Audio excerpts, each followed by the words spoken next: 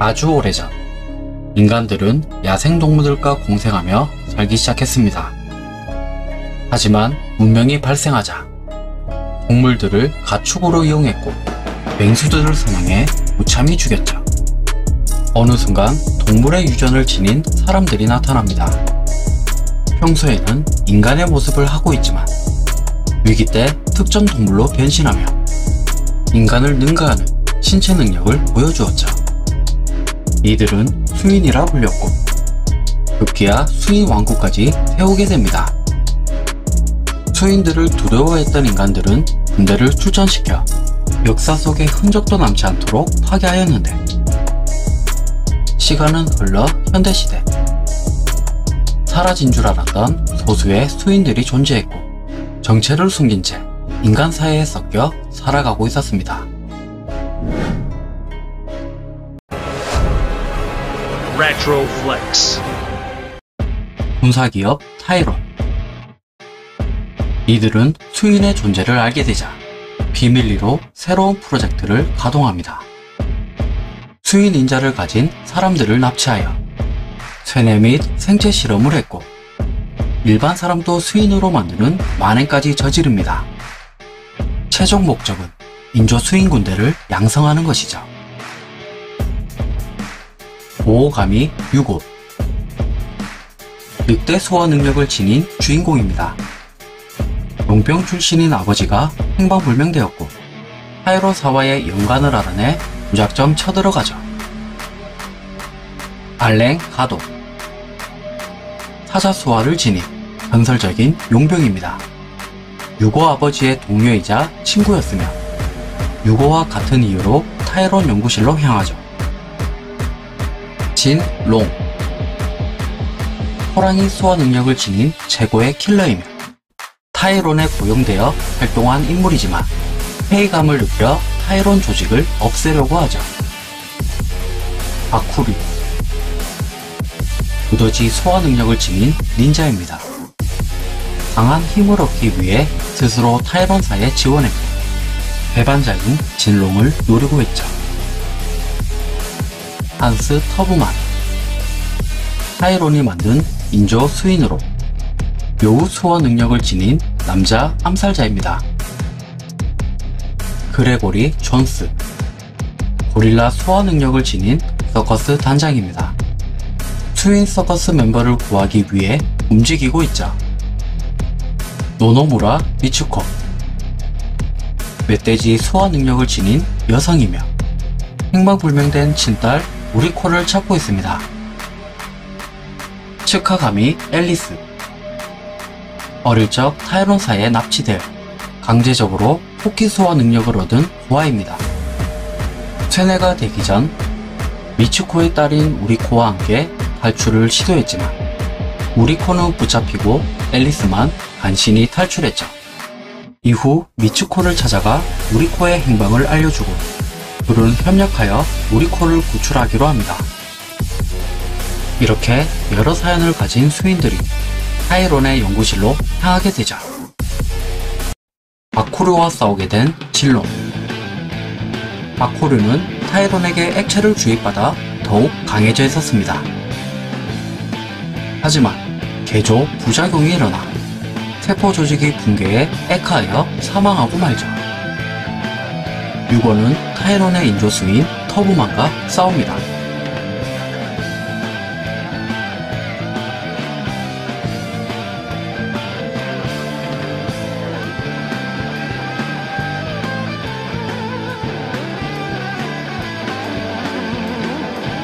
터브만을 쓰러뜨립니다. 알렌가드와 진로, 미츠코, 앨리스와도 싸웠지만 적이 아님을 깨닫고 동료가 되기로 하죠. 이후 타이론의 연구실을 조사하던 중 유고의 아버지가 가혹한 실험으로 인해 이미 고인이 된 것을 알게 되어 분노합니다. 그리고 납치된 우리코를 발견한 유고에게 하지만 우리코는 타이론에게 세나와 실험을 당해 어머니 미츠코를 공격했고 전투수인 모키마에라로 소화합니다.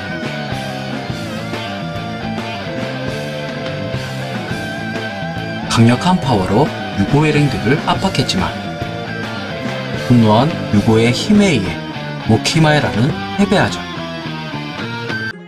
수화가 풀린 우리코는 미츠코가 구출하고 가도가 연구실을 폭파시키면서 타이론사는 완전히 와해됩니다. 진롱은 과거의 잘못을 속죄하기 위해 속세와 인연을 끊고 산속에 들어가 운전자 생활을 했고 미츠코는 고아인 앨리스를 양딸로 거뒀고 우리코와 조용히 살아갔죠. 유고는 연구소가 폭파되기 전 타이론에게 실험당하던 꼬마 카케루를 구출한 뒤 함께 살게 됩니다. 카케루는 두더지 소화 능력을 지녔으며 죽은 바케루의 제자였죠. 타이론은 와해되었지만 폭발 사건으로 전 세계의 수인에 대한 존재가 알려지게 되고 수인에 대한 공포와 갈등이 심화됩니다. 급기야 인간들은 수인을 사냥하기 시작했고 알렌가도는 잔혹한 세상을 바꾸고 수인들을 지키기 위해 치안 부대를 창설하죠. 하지만 테러 조직도 탄생합니다. 수인 해방전선 수인들로 이루어진 조직이며 인간뿐 아닌 뜻을 거르는 수인까지 무차별적 공격하는 대규모 극렬주의파 단체였죠. 어느 날 수인 해방전선은 미츠코를 찾아와 협력을 요구하지만 거절하자 강제로 끌고 가게 되고 현장에 있던 우리코가 돕기 위해 소환을 하지만 불완전한 개조의 영향으로 반수인이 되는 바람에 미츠코를 구할 수가 없었습니다. 결국 강해지기 위해 은거 중이던 진롱을 찾아갔고 수련을 받은 뒤 함께 떠나기로 하죠. 고수지마 하지메 전직 타이론에 근무했던 미친 과학자이며 카멜레온 수화를 가진 트윈 해방 전선 간부입니다.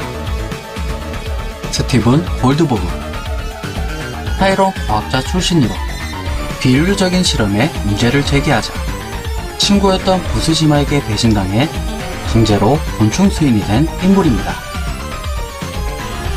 제니 버토리 박쥐 소화 능력자로 알렌가도의 의뢰를 받아 수인 해방 전선을 조사하고 있습니다. 잔 가도 알렌가도의 입양된 딸이며 표본 소화 능력을 지녔습니다. 아버지를 돕기 위해 비밀리로 수인 해방 전선을 조사 중이자 한편 유고는 정체를 숨기고 프로복서로 생계를 이어가고 있었는데 부스지마가 나타나 카케루를 납치해갑니다. 그때 나타난 제니의 정보로 유고는 수인 해방 전선과 맞서 싸우기로 하죠. 이렇게 다양한 사연을 가진 유고 일행들은 수인 해방 전선과 맞서기 위해 5년 만에 다시 모이게 됩니다. 납치한 카케루를 세뇌시키는 부수지마. 카케루는 2대 바쿠류가 되었으며 부수지마의 명령에 따라 유고 일행들을 공격하자.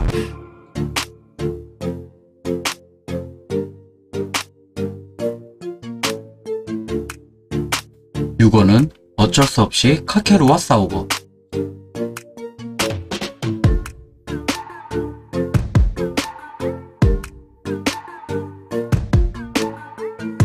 뒤늦게 정신이 돌아온 카케루. 자신을 이렇게 만든 수인 해방 전선을 외멸시키기로 결심합니다.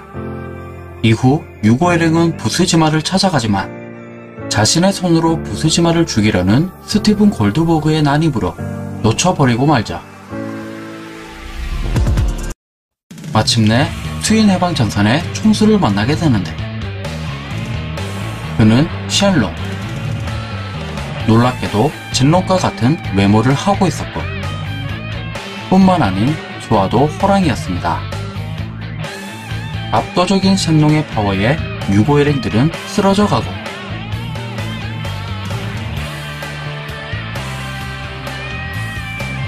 마지막 남은 진롱마저 패배하죠. 셜롱이 진롱을 죽이려던 순간 제니가 나타나 충격적인 말을 합니다. 셜롱은 진롱의 클론이며 조사 결과 셜롱을 만든 것도 부수지마라고 알려주죠. 셜록은 부수지마에게 이용당했고 실질적인 수인 해방 전선의 리더는 결국 부수지마였습니다. 충격받은 셜록은 갑자기 자해를 하더니 쓸쓸히 사라지죠. 그렇게 납치된 미츠코는 무사히 구출되고 셜롱이 사라진 수인 해방전선은 급격히 와해됩니다. 이후 알렌가도는 수인과 인간들의 갈등을 해결하고자 수인단체 WOC를 창설했고 유고가 리더로 선임되죠. 유고 일행들은 WOC 소속이 되어 과격했던 수인 해방전선과는 다르게 평화적으로 세상을 바꿔나가려 노력합니다. 하지만 인간과 수인들의 갈등이 심화되는 사건이 일어나는데 수인들에게 의문의 문장이 나타났고 이 문장을 받은 수인들은 더욱 강력한 힘을 갖게 되었지만 일부는 폭주하거나 죽어가고 있었죠. 이로 인해 전 세계는 더욱 불안과 공포를 느꼈습니다. 유고에게도 문장이 나타나자 원흉을 찾아내기 위해 길을 나서자 알렌가도도 자신에게 문장의 조짐이 나타난 것을 느꼈고 장가도는 문장을 조사하기 위해 군사작전에 투입됩니다. 그 외 여러 사연을 가진 수인들도 문장 사태를 해결하려 움직이자 종족을 감췄던 셜록 그는 충격을 받아 기억상실증에 걸린 상태였습니다. 부수지만은 자신을 알아보지 못하는 실롱을 다시 이용하려 하자 우라노스 문장 사태 후 등장한 수수께끼의 인물로 특이하게 키메라의 수화 능력을 지녔습니다. 시온 키메라의 수화 능력을 지닌 자로 문장을 가진 수인들을 무참히 살해하고 다녔습니다. 그리고 유고가 가진 문장도 노렸는데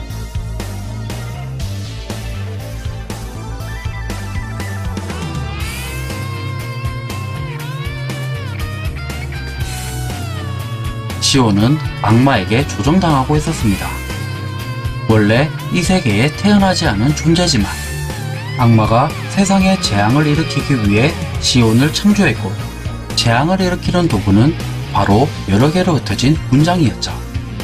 유고는 악마가 깃든 석판을 파괴했고 시온은 악마의 세뇌에서 풀려납니다. 아기가 사라진 시온은 앨리스에게 치료받으며 문장 사건은 끝이 나죠. 하지만 평화도 잠시 새로운 수인들이 출몰하게 됩니다.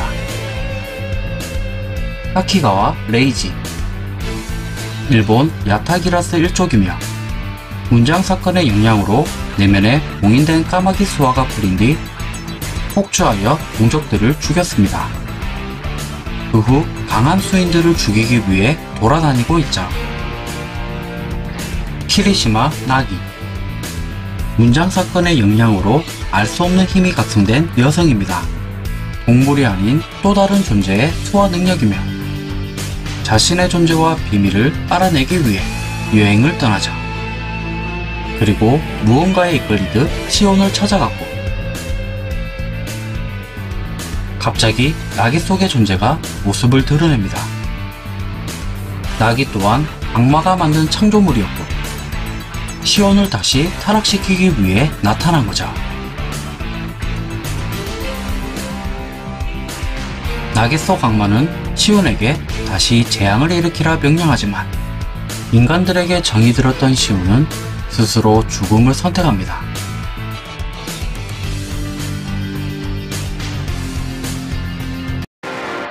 악마는 계획을 바꿔 용의 힘을 깨우려 합니다. 용의 힘이란 공룡들을 멸종시켰던 강대한 힘으로 문장의 힘보다 더 큰 재앙을 불러올 소화였죠. 용의 힘은 라오의 몸속에 봉인되어 있었습니다.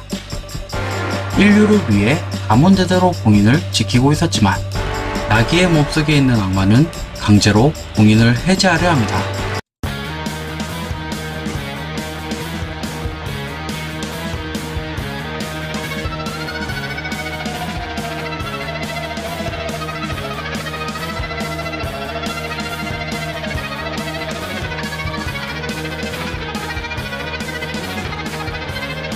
라오는 재앙을 받기 위해 버텨보지만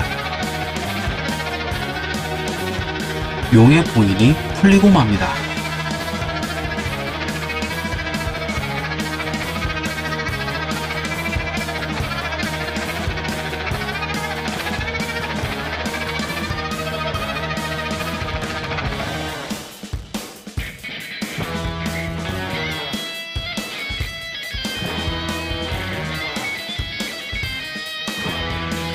나기가 용의 힘을 흡수하려던 순간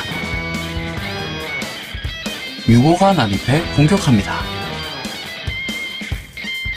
이때 나기는 악마와 분리되었고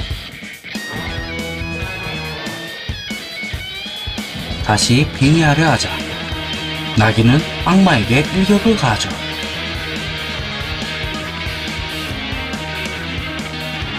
이렇게 악마는 사라지고 나기는 자유의 몸이 됩니다. 세상은 다시 평온을 되찾았고 인간과 수인들의 관계도 호전되었죠. 오래전 역사 속에서 사라진 수인 왕국도 부활했고 유엔의 정식 국가로 인정받게 됩니다.